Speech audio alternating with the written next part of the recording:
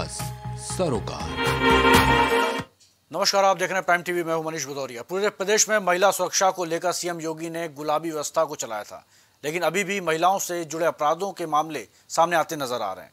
वहीं महिला सुरक्षा को लेकर उठ रहे सवालों के बीच प्राइम टीवी की टीम जनता के बीच पहुँची।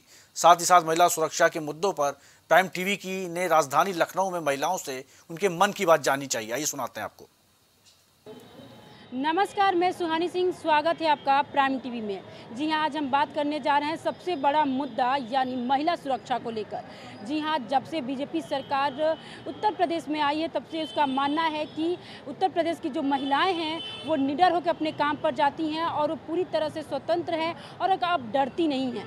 वहीं दूसरी तरफ़ देखा जा रहा है कि जो महिलाओं के महिलाओं के पक्ष में तमाम ऐसी बड़ी घटनाएँ अब देखने और सुनने को मिल रही है। तो आखिर एक तरफ़ जो सरकार दावा कर रही है कि महिलाएँ हमारे सरकार में सुरक्षित है और दूसरी तरफ़ ऐसी बड़ी बड़ी घटनाएँ जो सामने आ रही है। तो आइए जानते हैं वही लखनऊ के जो महिला हैं, उनसे कि आखिर क्या आप सुरक्षित हैं? क्या आप अपने काम पे निडर होकर जा रही हैं? क्या आप पूरी तरह से आप निडर होकर काम करती हैं? तो तमाम महिलाओं से आइए बात करते हैं कि आखिर उनके इस विषय पर क्या कहना है। जैसे आप लोग काम करने वाली आप वुमेन हैं। आप साफ़ तौर पे कह सकते हैं बीजेपी सरकार कहना है कि जब से बीजेपी उत्तर प्रदेश में आई है तब से महिलाएँ पूरी तरह से सुरक्षित है पहले सुरक्षित नहीं थी। आपका क्या कहना है? ये भी सुरक्षित तो है क्योंकि देर से निकलती रात में तो तब डर नहीं रहता है। अच्छा। सुरक्षित तो है वो भाई ये तो हम मानेंगे भाई तो पहले क्या मैम ये कहा जा रहा है कि सिर्फ़ बीजेपी सरकार आई तभी सुरक्षित थी पहले सरकार में सुरक्षित इतना तो नहीं बता पाएँगे लेकिन इस समय तो लेडीज़ सुरक्षित है। इस बार सुरक्षित सुरक्षित है। मैम आपका नाम? मिताली। मिताली, आप एक लड़की हैं खुद। आपको क्या लग रहा है इस टाइम उत्तर प्रदेश में लड़कियों के लिए कितना सुरक्षित है और आप कितना सुरक्षित महसूस कर रही हैं? मैं जब से बीजेपी सरकार आई है, मैं अपने आप को काफ़ी सुरक्षित महसूस करती हूँ। बट अभी भी कुछ डर हैं, जो मुझे लगता है कि काम करने की ज़रूरत है जिन पर। जैसे उत्तर प्रदेश की सरकार जो है, तमाम जैसे पिंक बूथ लेकर पिंक, ऐसे तमाम जो वो पुलिस वाले भी निकाले और टॉयलेट, पिंक टॉयलेट भी निकाले, तमाम लड़कियों के लिए योजनाएँ आते रहा है। तो इससे आपको क्या कहना है? कितनी सुविधाएँ आपको मिलती है यूपी सरकार से? देखिए, उन सब पिंक बूथ अभी ऐसा मेरे साथ कुछ हुआ तो नहीं कि मुझे उनकी ज़रूरत पड़े बट मैं जब दूसरों को देखती हूँ तो मुझे लगता है कि उनको काफ़ी सहायता मिली है उन सबसे, उनके लिए बाकी चीज़ों की पे जाना, उनसे मदद लेना बहुत आसान हो गया जैसे आपने सुना होगा कि साफ़ तौर पर जो सरकार है या आम जनता भी कहती है कि बीजेपी सरकार आई तभी से लड़कियाँ या महिलाएँ सुरक्षित है उत्तर प्रदेश में। पहले वाला सरकार था, तब सुरक्षित नहीं था। आप सुना तो होगा कुछ।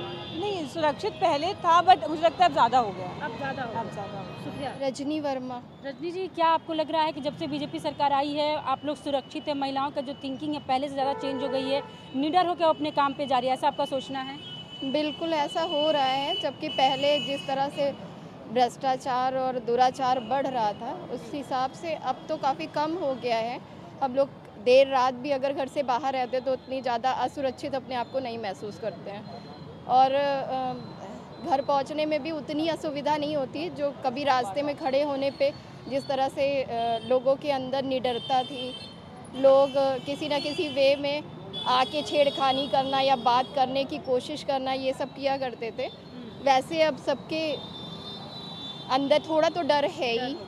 तो उसकी वजह से वो इतना ज़्यादा महिलाओं को दिक्कत अब नहीं हो रही है। पहले के क्या चाह रही है सरकार से? अब और इसमें कुछ सुविधा और मांगना चाह रही है कि आपकी थिंकिंग है कुछ और इसमें बदलाव किया जाए? देखिए बदलाव का रहा सवाल तो बदलाव तो कुछ और करने चाहिए महिलाओं के लिए कि जैसे कुछ योजनाएँ योजनाएँ लाएँ उसके अकॉर्डिंग थोड़ा सा महिलाओं को और ज़्यादा प्रोत्साहित प्रोत्साहन मिलेगा आगे के लिए। मैम आपका नाम? मेरा नाम डॉक्टर मेघा दुबे है। ठीक है जी अच्छा ये बताइए कि उत्तर प्रदेश में जब से बीजेपी सरकार आई उनका मानना है कि जो महिलाएँ हैं लड़कियाँ हैं वो अब सुरक्षित हो गई हैं पहले के बजाय। तो आपका इस पर क्या कहना है? पहले की वजह सुरक्षित हो गई है ये काफ़ी हद तक ठीक है लेकिन पूरी तरीके से ठीक नहीं है क्योंकि महिलाओं को जो रात में जा रही हैं आ रही हैं उनका जो ट्रांसपोर्टेशन सिस्टम वो भी उनका सेफली होना चाहिए। तो स्टेशन से जाना है, कहाँ पर रहना है जैसे अभी तो ओला उबेर है, ठीक है। लेकिन बहुत सी जगह ऐसी है, जैसे कि हम झांसी की भी बात कर सकते हैं, जो यूपी में ही आती है। वहाँ यदि महिला जा रही है, लखनऊ से झांसी जा रही है तो वहाँ रात में दो, ढाई बजे वो जाती है। उसके बाद उसको स्टेशन जाना तो क्या सिक्योरिटी उसके लिए? जैसे दिल्ली गवर्नमेंट ने किया हुआ प्रीपेड बूथ लगाए गए हैं।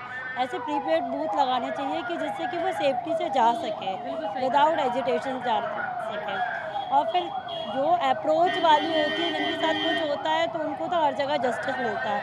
लेकिन जो महिलाएँ ट्रैवल करती हैं, बहुत सारे सिस्टम होते हैं, जो कि आप बोल सकते हैं बड़े बड़े ऑफिसर्स के बच्चे होते हैं, वो उनको बहुत सी महिलाओं को क्या करते हैं एक्सप्लॉय करते हैं, उनको परेशान करते हैं।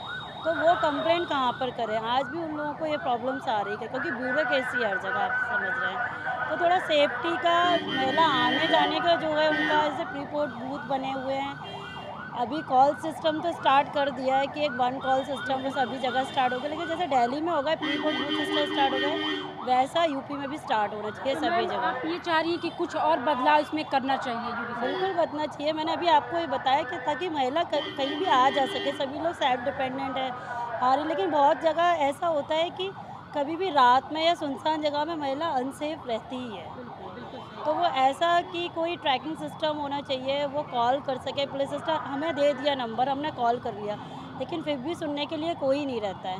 रिपोर्ट जैसे कि उबर है। उबर से अपना ऑनलाइन ट्रैकिंग चलता है। लेकिन बहुत सी जगह यूपी में अभी ऐसे झांसी भी एक बड़ी जगह है, ये डिस्ट्रिक्ट लेवल है। वहाँ भी ऐसा होना चाहिए कि प्रीपेड सिस्टम होना चाहिए। यूबर नहीं है तो वन कॉल सिस्टम होना चाहिए कि जैसे कि आजकल नंबर तो दे दिया गया है कि आप ऑटो का नंबर तो वन टू वन भी है कुछ और भी नंबर दिए गए हैं जिससे ट्रैक होने लगता है लेकिन ऐसा नहीं होता है।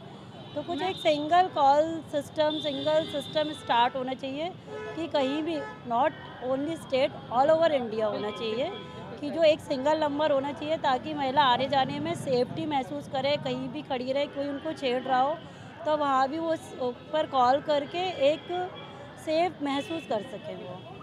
आप क्या कहना चाहेंगी? कितना महसूस महफूज आप उत्तर प्रदेश में करती हैं अपने आप को? और पहले से कितना बदलाव आया है महिलाओं की सुरक्षा में? मैं जैसे कि पहले आपने क्वेश्चन किया उसका तो मैं आंसर देना चाहूँगी। सरकार की बात है तो सरकार चाहे बीजेपी की हो चाहे कांग्रेस की हो चाहे बीएसपी की हो अ, सरकार बदलने से या उसका सिस्टम जितना भी मज़बूत हो जाए उससे फ़र्क नहीं पड़ता फ़र्क पड़ता है लोगों की सोच से उनकी मेंटालिटी से उनके घर के संस्कारों से। मतलब मेन बात ये है कि आप अपने घर में जो बच्चे हैं लड़के हैं उनको या इवन जो बड़े हैं उनको सब ऐसे संस्कार दीजिए कि ये ऐसी नौबत ना है उनके मन में ऐसा हो कि अगर लड़की कम कपड़ों में बाहर निकल रही है या अगर गलती से भी उसका दुपट्टा नीचे हो जाता है कुछ भी हो जाता है तो वो गलत निगाह से उसको ना देखें। और दूसरी चीज़ जैसे कि महिलाओं का आरक्षण होता है हर जगह की मेट्रो में कहीं भी तो वहाँ पर सारी सीट्स फिल रहती हैं। जेंट्स बैठे रहते हैं या किसी को परेशानी वो लड़की नहीं बैठ सकती। अगर बाई चांस उसने कुछ कह भी दिया तो कुछ लोग तो लड़ने के लिए ही आतुर हो जाते हैं। तो ये चीज़ नहीं होनी चाहिए। और दूसरी चीज़ रात को अगर हम जैसे ओला वगैरह में भी जा रहे हैं ठीक है ओला ऊबर की सुविधा है लेकिन ओला ऊबर में भी आजकल ऐसे इतने केसेस होते हैं ट्रैक होता है हर कुछ सब होता है लेकिन फिर भी केसेस हो जाते हैं। तो वो चीज़ कैसे ठीक होगी? और लोग कंप्लेन करने से डरते हैं क्योंकि वहाँ पे भी कमीशन चलता है भ्रष्टाचारी चलती है पुलिस वाले खुद उस महिला को ट्रीट नहीं करते। इसी मुद्दे पे लेकर बीजेपी सरकार ने अलग से बूथ बनाया, आपको पिंक सिटी, आपको जो अलग पिंक टॉयलेट दिया है तो ये सारी सुविधाएँ, तमाम सुविधाएँ महिलाओं के लिए आए। तो वही कह रही हूँ कि कितना आप इस पर बदलाव देख रही है? मतलब ये डिपेंड करता है अलग अलग एरिया वाइज भी। कुछ जगह इस एरिया में विकास है, वहाँ पर जो लोग अच्छा काम कर रहे हैं तो वहाँ पे ये चीज़ दिखती है। पर कई जगह नहीं भी है। कुछ वॉशरूम साफ़ नहीं होते हैं। वहाँ पे सैनिटरी पैड्स की सुविधा नहीं होती है। कई जगह वहाँ पे बूट तो बना दिए जाते हैं बट वहाँ पर वो अवेलेबल नहीं होते हैं। साफ़ सफ़ाई का बिल्कुल ध्यान नहीं रखा जाता है वहाँ पर। और जैसे कि पिंक की जो आप बात कर रहे हैं, जैसे पार्किंग में भी हम देखते हैं, एक जगह पिंक कलर के भी कई बना दिए जाते हैं कि यहाँ पर सिर्फ़ महिलाओं की पार्किंग होगी। लेकिन वहाँ पे हर प्रकार के वाहन खड़े रहते हैं। वहाँ पे महिलाओं की मतलब हेल्प करने के लिए भी कोई नहीं रहता। और फिर जब कुछ कहने जाओ, कुछ कहो तो कई लोग तो इसको इससे कंपेयर करते कि आप तो ये कहते कि महिला और पुरुष एक समान है तो फिर ये क्यों डिफरेंस ला रही है? महिला महिला ऐसे रिजर्वेशन टाइप हम हम उस वे में नहीं कह रहे। महिलाओं की समानता एक अलग चीज़ है और ये जो सरकार अलग कर रही है, वो अगर आप इतना ही समान समझते हो तो फिर है ना इतने केसेस और क्राइम्स क्यों हो रहे हैं? अगर आप समान समझते हैं तो फिर उस हिसाब से ट्रीट करिए ना महिला को। फिर आप उस तरीके से हेरेसमेंट क्यों कर रहे हैं? तो आपने देखा उत्तर प्रदेश के जो लड़कियाँ हैं, खासतौर पर जो महिलाएँ हैं, उनका साफ़ तौर पे कहना है कि कहीं ना कहीं जब से उत्तर प्रदेश में बीजेपी सरकार आई है काफ़ी बदलाव आया है, क्योंकि तमाम जो योजनाएँ जो योगी सरकार जो महिलाओं के लिए दिए लड़कियों के लिए दिए जैसे पिंक बूथ से लेके पिंक टॉयलेट हो गया, उनकी पार्किंग के लिए अलग अलग बनाया जा रहा है, उनकी यातायात की सुविधाओं के लिए भी तमाम ऐसे परियोजनाएँ योजनाएँ लाया जा रहा है तो कहीं ना कहीं जो उत्तर प्रदेश की कुछ हद तक जो लड़कियाँ और महिलाएँ हैं, वो अपने बातों से इनका साथ और कहना है कि बदलाव तो आया है, लेकिन और भी इसमें बदलाव करने की ज़रूरत है। वही आपको बता दें कि जो महिलाएँ हैं, उनका साफ़ तौर कहना है कि महिलाओं के लिए और लड़कियों के लिए अगर तमाम जो योगी सरकार परियोजनाएँ ला रही है, उसमें और बढ़ावा दें, क्योंकि हम अगर अपने जो काम पर जाते हैं या कहीं भी अगर जाते हैं तो उस पर हम निडर होकर जाएँ और अपनी बातों को रख सकें। तो ऐसी तमाम जो लड़कियाँ हैं और महिलाएँ उत्तर प्रदेश की, वो अपनी प्रतिक्रियाएँ अलग अलग दे रही हैं और इसमें और बदलाव करने की नसीहत भी दे रही हैं योगी सरकार की। तो आप देख सकते हैं कि किस प्रकार से जो महिलाएँ हैं अब यूपी सरकार में खुशी से हैं और उनका कहना है कि हम निडर होके हम अपने काम को करते हैं। कैमरामैन विजय के साथ सुहानी सिंह प्राइम टीवी लखनऊ। फ़िलहाल महिला सुरक्षा को लेकर हमारी खास रिपोर्ट बस इतना ही। देश प्रदेश की खबरों के लिए देखते रहिए प्राइम टीवी। नमस्कार। कुछ भाव पुष्प। आप देख रहे हैं प्राइम टीवी। सच साहस सरोकार।